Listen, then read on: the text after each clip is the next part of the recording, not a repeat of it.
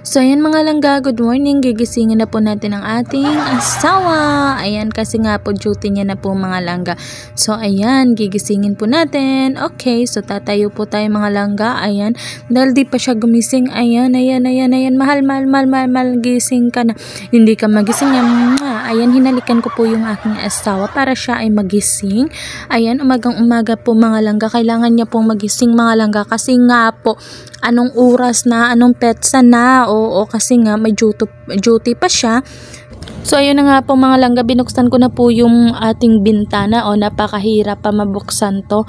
Ayan, so para naman na ano na yung papasok po yung init po. Ayan, papasok po yung hangin, hindi pala init. Ano ba yan? So, ayan nga po mga langga, natapos ko na mabuksan ang ating bintana. Ayan, linisin ko lang itong mga kalat na nasa mesa na to. Itong mga kalat na to, kagabi pa to. Kasi nga, naman naglalaro kami ng asawa ko ng dama. Oo, naglalaro kami. Tapos, hindi ko na siya na ligpit po mga langga. So, ayan na po. Tapos, maya-maya po mga langga, i-prepare po natin yung breakfast po ni, ni Mr. Ko. Siyempre naman kasi may pasok po siya mga langga. So, ayun nga po mga langga, nakuha na po natin yung tasa natin. Tapos, next po ang bread po natin with mayonnaise po yan mga langga. Kukunin po natin siya mga langga. So lipat ko lang po yung cam.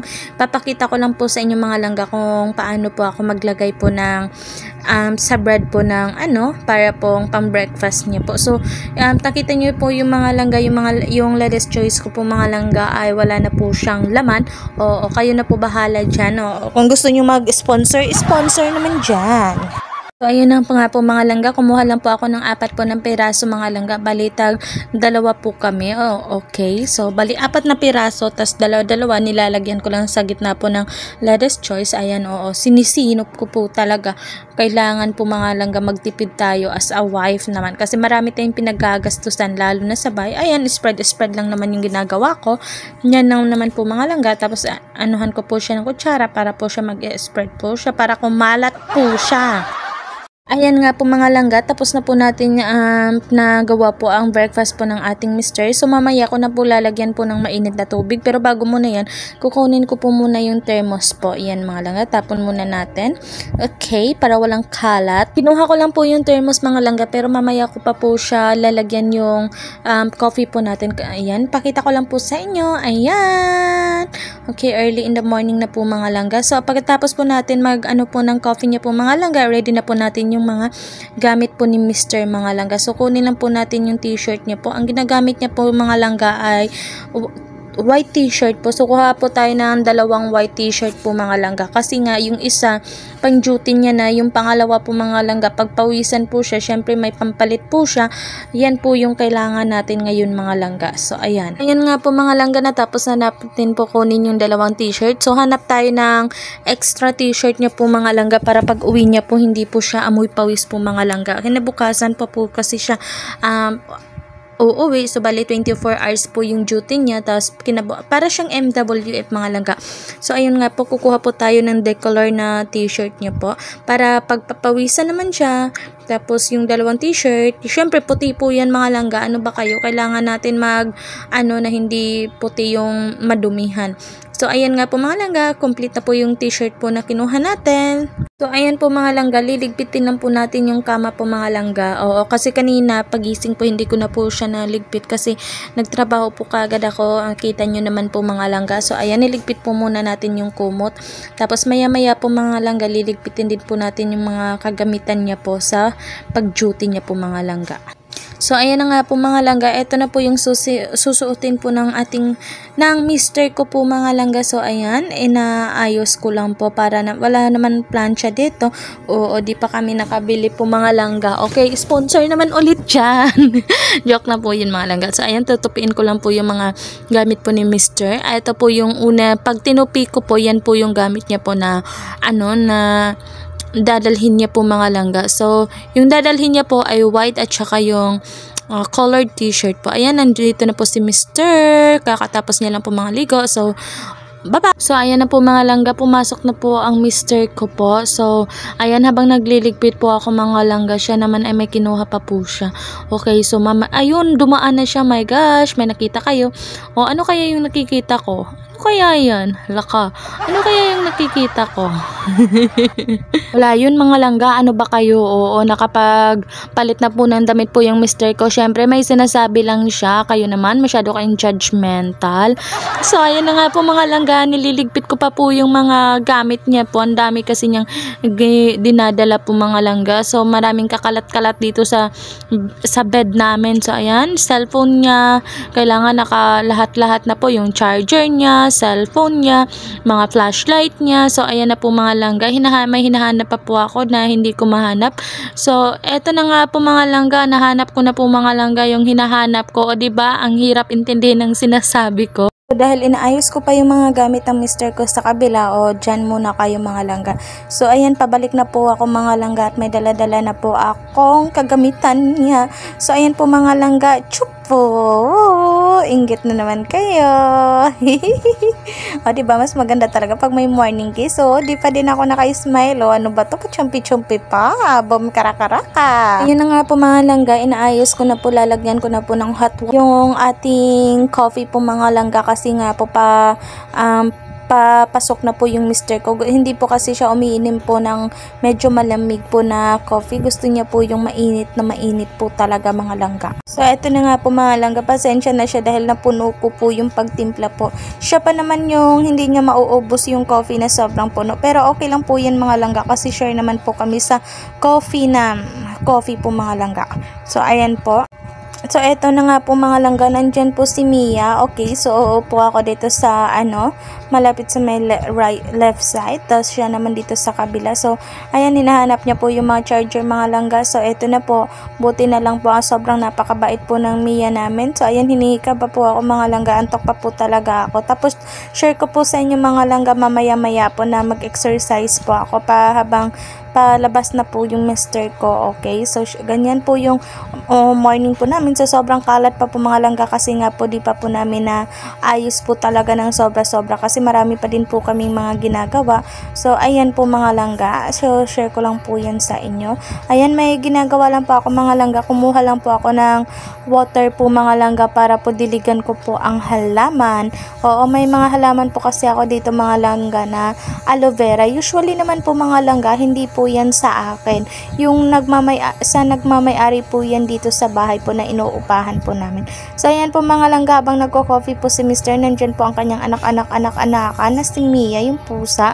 So Ayan po mga langga, didiligan na po natin yung halaman po natin.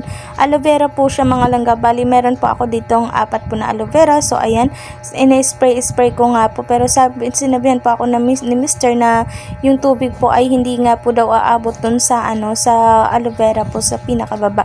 So ayan, yung ginawa ko po ay kukunin ko, um, bubuksan ko lang po siya. Tapos, ayan, na-sprayhan pa po tuloy ako. So bubuksan ko po siya mga langga at ibuhos ko na lang po siya para mas madali po para mas makakainom po talaga yung aloe vera. Oo naman mga langga. Siyempre naman po mga langga, may tanim din po. Mas maganda pong may tanim po dito mga langga. Nakaka-relax din po dito kasi may makikita ka pong mainit, may makikita ka pong liwanag, may nakikita mo po yung la, yung clouds po mga langga. So ayun dahil nakulangan po ako ng tubig po mga langga. Um, kukuha pa din po ulit ako ng tubig po mga langga. Siyempre naman, mineral yung kukunin natin. Nakakapagod bumaba pa para kumuha lang ng tubig, 'di ba? Okay. So, ito na nga po mga langga habang nagbe-breakfast po si Mr. po, ayan tumitingin-tingin-tingin lang po siya sa akin mga langga. So, ayan nga po mga langga, nag-coffee lang po si Mr. Usually, hindi niya naman po mauubos yung taapat na tinapay na yan. So, ayan, dinidiligan ko lang din po yung sa kabila po mga langga. Siyempre naman, para po makainom din po lahat ng mga plants po. Kasi sa panahon po ngayon mga langga, sobrang init po talaga dito ngayon. So, ayan, tinatakpan ko lang po yung pang-spray po mga langga. So, tumayo po si Mr. po para sikasuhin niya na yung mga kagamitan niya mga langga. Kasi usually naman mga langga, kahit naayos ko na yung mga gamit niya, inuulit niya pa din po mga langga kung may nakakalimutan ba ako, kung na mga ganyan, or may nakakalimutan ba siyang ipasok, saan ipasok? Syempre, ipasok sa bag. Ano ba kayo mga langga? Hindi ko to akalain ng mga langga na nagwawaki-waki-waki pa lang mister ko dito. Ang pogi-pogi naman. O mahihain kasi yung mister ko. So, ayan nga po mga langga, nung tiningnan ko po siya mga langga. Ayan, okay, shy, shy, shy lang. So, napatawa ako dun sa ginawa niya po mga langga. Pero pinipigilan ko lang po mga langga. O, kasi ayaw ko siya na, ano, na, na makikita na naka-smile siya o tumatago po siya mga langga. Ganyan po yung mister ko. So, ayan, nilagay ko na po yung spray po mga langga. So, may kinuha lang po ako mga langga. Okay, antayin nyo lang po ako mga langga. Kinuha ko lang naman po mga langga. Walang, an, walang iba kundi ang kanyang baon. Oo, yung nagbabaon po siya ng coffee po mga langga kasi 'di ba syempre, yung asawa ko po ay isa pong private security po so binaunan ko lang po siya ng anim. Ginupit-gupit ko lang po yun. Oo, kasi nga naman kaysa naman sa bibili pa siya doon, edi mas magandang magbaon na lang siya mga langga. So ayan na, pauwi na yung mister ko. Yay, ready na siya. Iiwan niya na naman ako. Kawawa na naman ako dito. Ako na naman mag-isa. So ayan nga po mga langga, habang may kinukuha pa po siya, kinarga-karga-karga ko po muna yung alaga ko. Oo, dahil nga naman aalis na yung mister namin. So, ayan, ready ko na yung face mask niya. Usually mga langga, kagabi pa yan naka-ready yung face mask niya. Hindi yan gamit ha. Marami kaming face mask. So, ayan nga po, may kinuha na po siya mga langga. Hmm, ang sweet naman ng mister ko. Ganyan lang po kami mga langga. O, kasi nga naman wala pa naman kaming anak. So, ayan. Hindi pa yan lalabas mga langga kung hindi pa din yan. Ay, hindi pa siya aalis kung hindi pa siya nakapag-hug din po mga langga. So, ayan, chine-check niya yung face mask niya. Bago alis, may hug pa yan at may kiss. Kailangan niya ng hug at kiss. So, pag walang hug and kiss, lagot siya sa akin. In a one, two, three. Ayan, binaba ko lang po muna si Mia. Pinagpag ko lang yung damit ko mga langga. Ayan, kiss at sabay hug. Okay, may pa... Saan yun? Saan yun? Saan hinawakan? Ano ba kayo? So, ayan, bye-bye mister na po. So, ingat ka po. Love you, love you. Ayan na nga po mga langga. Ako naman din po mag-isa ulit. Pati kasama ko din si Mia. So ayan na nga po mga langga. Siyempre lock po natin yung bahay natin. Okay. So yung inupahan namin ganito po siya. So eto po mga langga. Ako na lang po ulit mag-isa.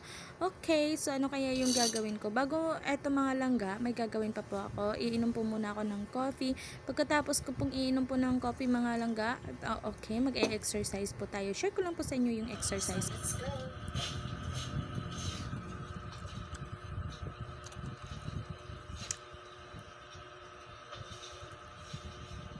it to me like